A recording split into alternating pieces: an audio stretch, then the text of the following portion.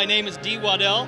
I'm the Global Managing Director for Travel and Transportation Industries at IBM. Good evening, and thank you very much for taking a moment to speak to Breaking Travel News tonight. I can see a fun, one wonderful World Travel Award in your hand there. How does it feel to have won? Oh, it's a wonderful feeling, of course, where we're trying to empower people, and this is through AI, to empower people to, to increase their intelligence and to be able to use technology to their benefit.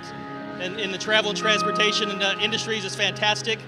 Data we know is the next generation of, of fuel, so to speak.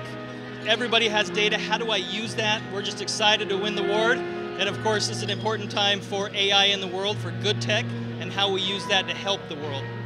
Um, AI, a hot topic for everybody in the travel industry. What are your ambitions for 2019 to ensure you come back and are recognized as the best in the industry next year? Sure, we're, we're, our AI is all about enterprise technology and what we're doing for business.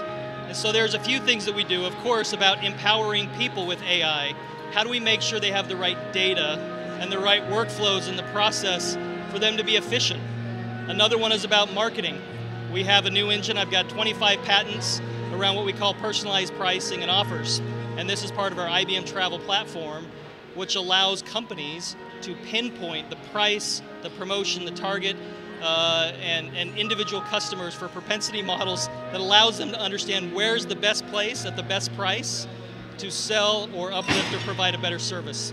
So we're very excited about that. So certainly a topic we're going to hear a lot more about in the future. Thank, Thank you very, very much, much. Thank you. Glad to be here.